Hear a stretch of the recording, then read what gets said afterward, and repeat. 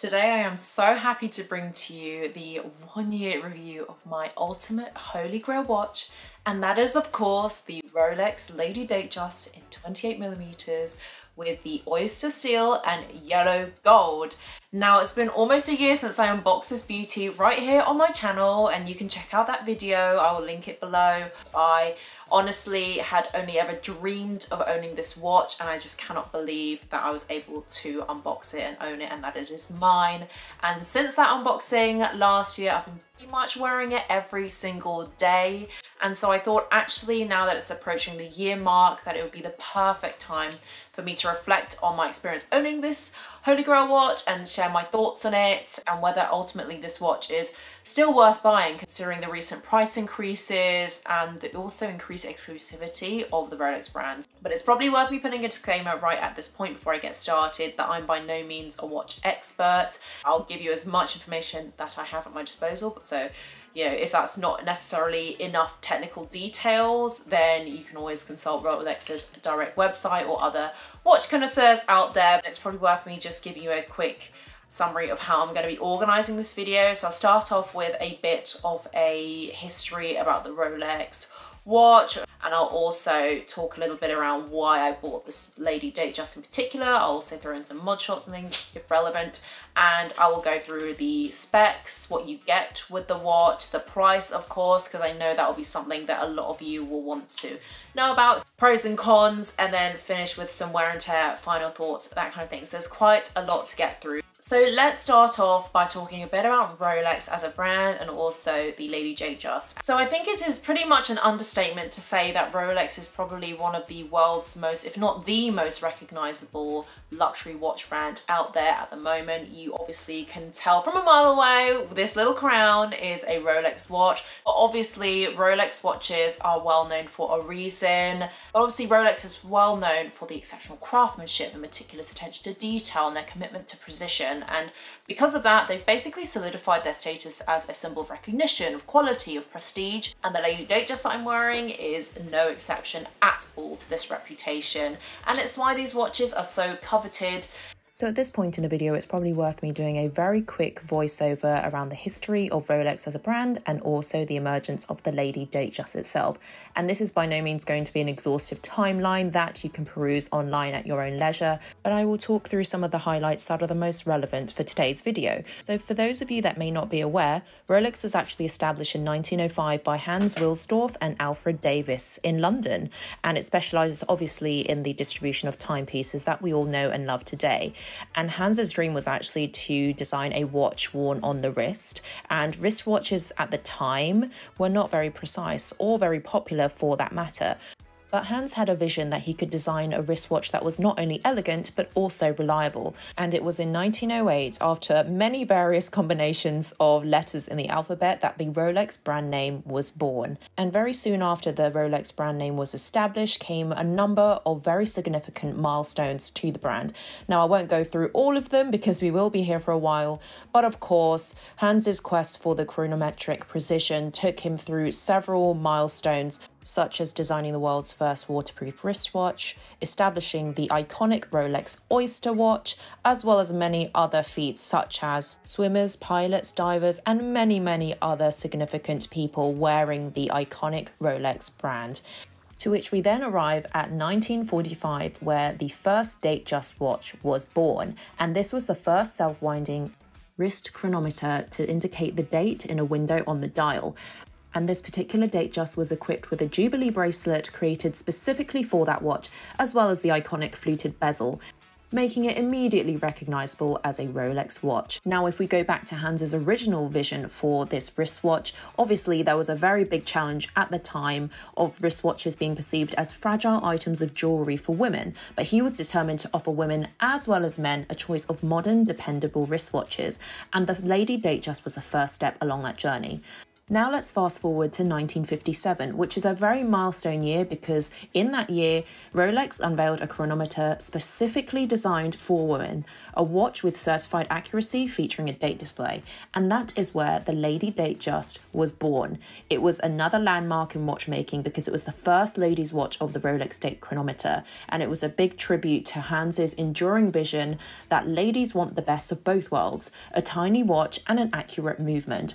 And I think it is safe to say that Hans did deliver on this vision.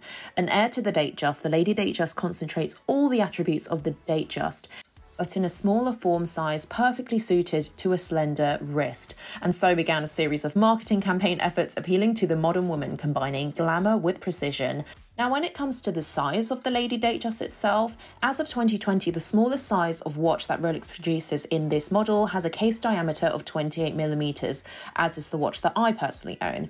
Both the Lady Datejust and the smaller size for the Oyster Perpetual collection now have case diameters of this size, but 26 millimeters was actually the classic size of the Lady Datejust for many, many years. Though if you were to go on the vintage market, there is no doubt that you will be able to stumble upon these smaller case sizes. When it comes to the hardwares and the different different designs that you can get, there is definitely something for everybody. If you are the sporty type, a two-tone steel and gold model would be perfect, or indeed if you are more on the girly or feminine side, the diamond set model with a mother of pearl dial will more than take your fancy, I'm sure. And of course, there are so many different combinations that you can bespoke online on Rolex's website to make the watch truly your own. And I'm sure it goes without saying that no matter what you choose, the look will be unmistakably Rolex. It's very, very special in the Rolex lineup because it's very elegant, it's sophisticated, and it's obviously introduced for the market that is women because it is a smaller size and it exudes a sense of understated luxury, I suppose the quiet luxury that you're seeing nowadays, or stealth wealth. It's very clean looking, it's got clean dial, it's got a fluted bezel, it's obviously got the iconic Cyclops lens and the proprietary date window at the three o'clock section. So now that we've talked a little bit about the Lady Datejust, I think it's probably worth talking about why I decided to buy this watch as my first high-end luxury timepiece. Now I must say, if I'm being brutally honest, I wasn't actually in the market for a lady Datejust. I was actually looking for the regular Datejust actually in the 31 size. I believe that's also a very popular size. But obviously these kind of things with waiting lists and whatnot just never work out in your favor. You'll wait years without getting a call back, especially if you don't have kind of purchase history and I suppose segueing into how I got this watch. It was one that I was offered actually at Charles de Gaulle Airport. It was a duty-free purchase. It was just on a transit actually when I was actually making my way to Cuba for a holiday and I saw this Lady Datejust in the small size, the 28, and I was just blown away. So timeless, so classic, with a watch actually that was pretty much almost the same spec that I'd wanted in originally in the Datejust, but a shrunk down version, way more elegant, less gaudy. So now let's talk about the actual specs of the watch. We will get a little bit technical in this section. I'm by no means an expert, I will say that again. I do have a lot of information actually on my trusty laptop in front of me so that I don't butcher everything, but um, obviously you can consult the actual website for more detailed information on the Lady Datejust. In terms of the ones that I suppose are the most useful or interesting, we can start by talking about the case. So we have a 28 millimeter case. It's crafted from oyster steel and yellow gold. And so it's a perfect balance between the classic of the gold and the modern with the silver. And it's just a really versatile watch because of that mixture of hardware. Now let's move on to the bezel, which of course is the iconic fluted bezel. It's a, such a distinctive Rolex feature. You can see it as I move it around. The bezel is glistening. It really is so, so stunning, special and distinctive around the Rolex. The bezel is actually screwed onto the case to make sure it is waterproofed. So basically this is fashion and function, which I really, really love. And now let's move on to the dial by which it's also very much glistening in the light. And we do have a silver gray colored dial. It does have flecks of kind of champagne as you turn the watch and it's actually got Roman numerals for the hour markers there I do like the classic nature of Roman numerals. Rarely do you get that in modern watches. In terms of the actual face, we've got a silver dial and you can see also they, that we have some ref light reflections as well. So it's definitely a watch that you will know from a mile away what it is. I love the fact that it's silver in terms of the face, but it also has almost like a champagne gold uh, reflection as well, depending on how you look at it, depending on the lighting situations. And it's actually based on very delicate brushing techniques that I think are done by hand. And essentially the way that they brush it is in such a way that when you then move the watch around, it reflects the light um, in almost like yeah, this kind of light ray effect. Then we've actually got the gold roller saw, which is this little guy here, which is obviously how you then adjust the date and the times. So now let's move on to the bracelet. And as you can tell, we have an oyster bracelet here.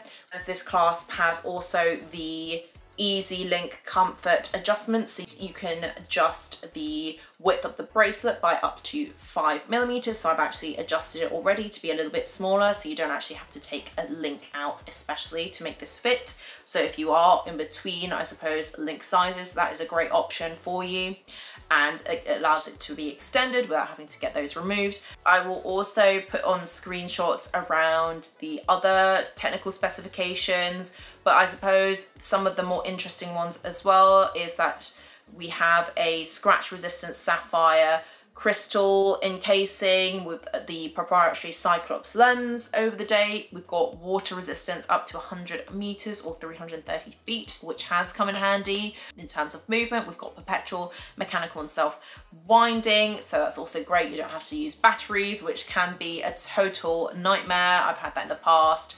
The precision is about two seconds either which way after the casing. So we do have great accuracy and precision. That is what Rolex is known for. And there are plenty more details in here, probably way more that I could rattle off but this video will be very long and I'm not sure that it will be that interesting to all of you out there so you can by all means go ahead and consult the website. Now a lot of you will wonder at this point in time, well actually Mel, how much did you buy it for? So I actually bought this particular watch like I mentioned last year and it was around tax-free price anyway. £6,700 for the specific price I believe it was actually retailing around 7,100 or 200 and of course, like I mentioned before, I had bought that particular watch at Charles de Gaulle Airport in Paris during a transit. So I managed to also get that tax free. I found Charles de Gaulle to be a very nice place to buy it from. I don't know if it was just because I was lucky, because I got on with the sales assistant, and or just because I was lucky that they had stock that day but I find it's very, very difficult to buy Rolexes just in a Rolex store or a department store in your home country. It's always very elusive. It is obviously maintaining that air of exclusivity. So a lot of times I feel like you have to get a buying history and build a relationship with a sales associate before you even get offered the watch that you want, or you have to wait many, many years.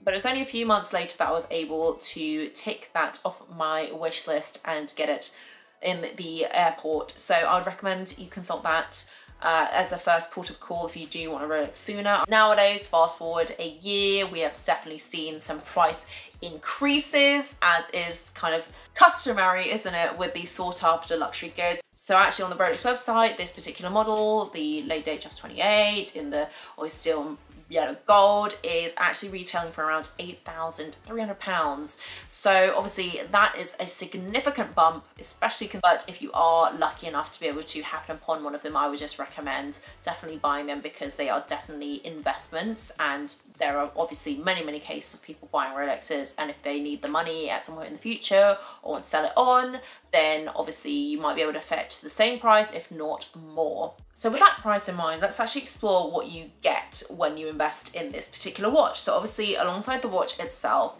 you actually get this very plain looking outer presentation box that contains within it the iconic green box.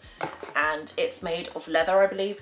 Smells divine and obviously inside that you've got a little cushion and little presentation for your watch that goes here and then outside of that of course you have a little storage of documents in this hidden kind of pouch here and within that you've got the Rolex warranty documentation you've obviously got your card here of authenticity, but also um, with its reference numbers as well. You've got the manual in terms of the actual Datejust itself with a few more details on the watch, how to use it, the guarantee worldwide service document, and obviously you've got this certification little dongle thing here. So we do have some very useful bits of documentation that should definitely be kept very, very safe. So now that we've gotten all this kind of admin out of the way, let's talk about how I've actually been finding the watch, how I've been styling it, etc. And honestly, I have been wearing this every single day. It is no lie. I make it a point to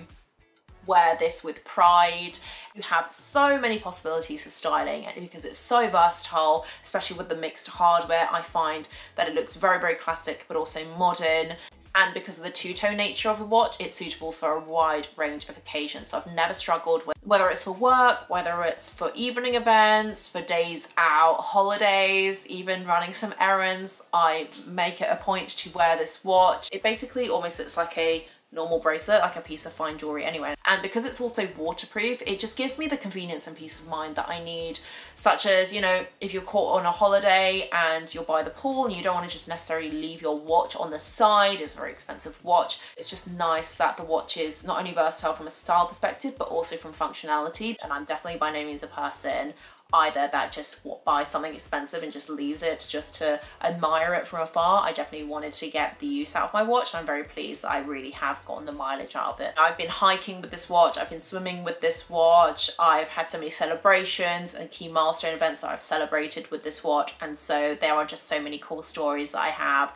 when I one day pass it down. This just leads me I suppose into a great segue to the key section here, which we are now in, which is around the pros and cons of the Lady Datejust. So and obviously one of the biggest pros that I found in this particular watch is regardless of the occasion or whether it's day or night, this is a timelessly elegant watch and it's such a classic design. It will never get out of style. Beyond that timeless appeal, the Lady Datejust really has the potential to become an heirloom that can be passed down because, you know, it doesn't date itself. And obviously Rolexes are known for that craftsmanship and the durability. So they'll definitely be lasting symbols of family history and tradition and now let's move on to another big pro for me and that was around quality. It's no good when a brand is, you know, all style and no substance. I feel like in this case, however, every single aspect of this watch from the precise movements to the fine intricate details of the design, it just showcases Rolex's commitment to excellence and the impeccable craftsmanship and attention to detail that goes into every single Rolex watch. And obviously one of the main appeals of Rolex is that it basically is built to withstand the test of time. You don't need loads of Rolex watches. You can get one and it doesn't really need to be replaced. So it definitely is a worthwhile investment. And for me, you know, I'm not necessarily a watch collector. So even if I just have this one Rolex watch, it will last me a lifetime. Now let's talk about a more technical pro of this watch and that's the precision and the reliability of it. So obviously it's self-winding mechanical movement. It's the Rolex Caliber 2236 and so it means that timekeeping is super accurate. There's a very generous power reserve and so you get peak performance. I've never had an issue with reliability. I've never missed a meeting or woken up late because of it. So I'm definitely an advocate of this particular watch and a spokesperson for the quality. I can attest to that. And then in terms of another pro, I think durability is also a big one to mention. So they use obviously very high quality materials. You've got the scratch resistant sapphire crystal, you've got the oyster steel detail as well. So the watch is going to be long lasting. The crystal face I find in particular has not received a single scratch tool. And I wear this, like I said, every single day. So that is really, really impressive to me. And then let's move on and talk about versatility of the watch, which obviously I've alluded to many, many times. And I think the combination of the oyster steel and the yellow gold really does add that touch of luxury and versatility, which for a watch that was just a plain hardware, I don't think it would have and achieve the everyday wear that I have managed to get thus far. And it complements so many styles and occasions so effortlessly. And it also complements, but can be also a standout piece worn alone. And now let's move on to a more functional pro, and that is water resistance. When you consider the fact that it can be waterproof for up to 100 meters, it's just ideal for any everyday situation, if you're caught in a downpour or if you're by a pool or something. So it just gives you that peace of mind and the convenience of wearing this watch to anything, rain or shine, and finally, let's move on to a very important point, and that's around resale value. So one of the biggest advantages of owning a Rolex Lady Datejust is that it's very, very strong in terms of resale value. And obviously Rolex watches as a whole have a reputation for holding their value and even appreciating actually over time. So that means should you decide to sell it or trade in your Lady Datejust in the future, you can expect a pretty good return on investment. And coupling those factors with the ever increasing prices and also exclusivity, you're basically going to get a guaranteed return on your investment for at least the amount that you paid for, if not more. Now let's move on to the cons. And obviously we've mentioned price before as a pro in terms of the investment factor, but obviously price is also going to be a con for those of you out there that are experiencing the aggressive price increases. And this has made it therefore more exclusive and more costly to own a watch, which was, you know, a fraction of the price many years before. So that is one that I thought to mention because obviously, you know, unless you're the super rich, getting a Rolex watch will be very difficult from a cost but also time perspective if you're also having to build relationships as well. It's not something that you can just get you know, from the store, unless you're very lucky, like I somehow was. But, you know, with all that being said, however, it's important to consider the fact that there is long-term value and prestige associated with owning a Rolex watch. And I do think having owned one for this long, that it is worth the wait, it's worth the investment. And, you know, if you can get it from the second-hand market or if you're lucky to get it from an airport or something then that is a way that you can circumvent the additional costs and time associated with trying to get your hands on this watch. Even with the increasing prices, I do still think that the Rolex watch, personally at least, is worth it. And I do think that I managed to get my particular watch for a steal of a price. So I,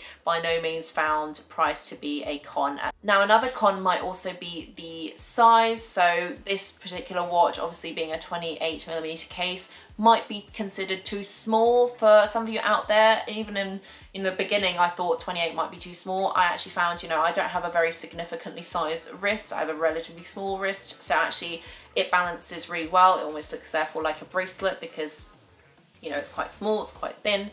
Uh, but obviously if you do prefer a larger size, there are bigger, you know, regular Datejusts out there.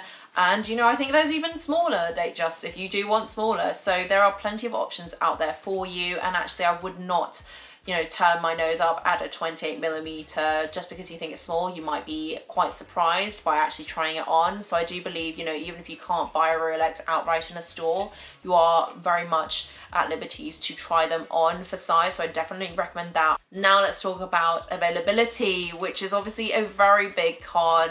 We've talked about this already, and I'm sure many others out there as well lament the fact that acquiring a Rolex can be very challenging. There's potentially waiting lists or limited availability across the board but you know getting a rolex i feel like is very rewarding i don't feel like i had to play a game in my personal experience and i do think actually where there's a will, there's a way. I mean, I even just came back from Japan and there are tons of secondhand and barely used Rolex watches that are on offer in just like the main streets as well. So you can definitely get those at a good price and not have to play the game. Now, another one is just very personal and specific to my case. And actually this is scratching with the Oyster bracelet. Now, I think this is a significant drawback that some people might find, you know, to be putting them off this particular model, especially on the back where actually I've gotten a fair few scratches actually on the clasp because, you know, if I'm on at a desk and typing, then obviously my hand is resting, it's moving, it's scratching, and, you know, just general wear and tear, rubbing, etc. if I'm walking around.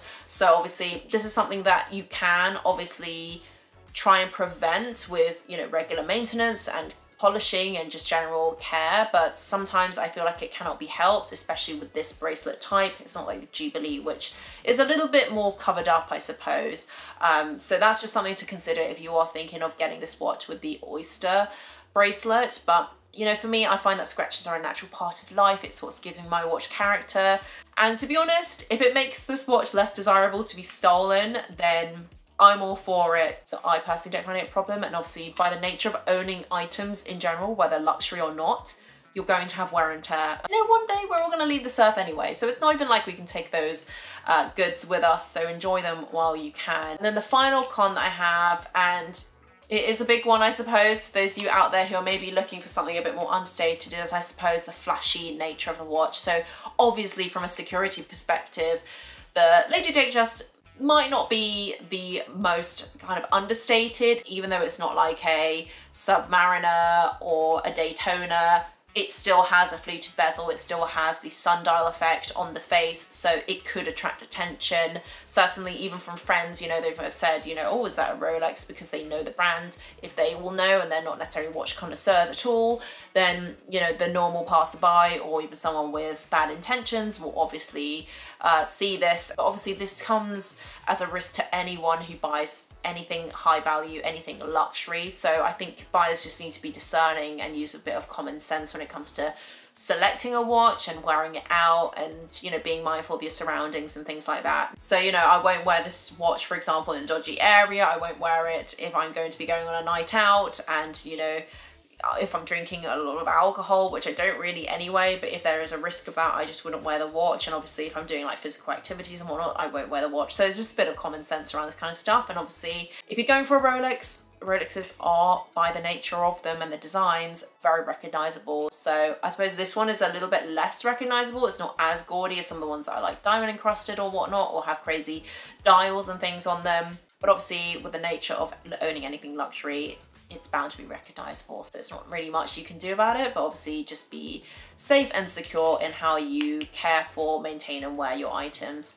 So now that we've covered pros and cons and you can obviously make your own informed decisions, I'll just end this video by talking about the uh, wear and tear, how I've currently gotten on with it. And obviously I'll include some close-up shots as well. The crystal face. We have no scratches on it at all, which is honestly astounding given how much I wear this thing. And it is in impeccable condition on the front. The clasp, the bracelet is obviously where you see the wear. It's not the greatest, but honestly, I don't really care that much. And to be honest, you cannot see it, you know, from far away. And you can see that also on some of the clasps, but you can get this polished on the inside, you know, I don't really have that much wear and tear. I'm not sure that you'll be able to see it from here, but I'll try and insert clips if I can. There are somewhere some small scratches, but again, it's on the inside of the watch. I don't really care so much.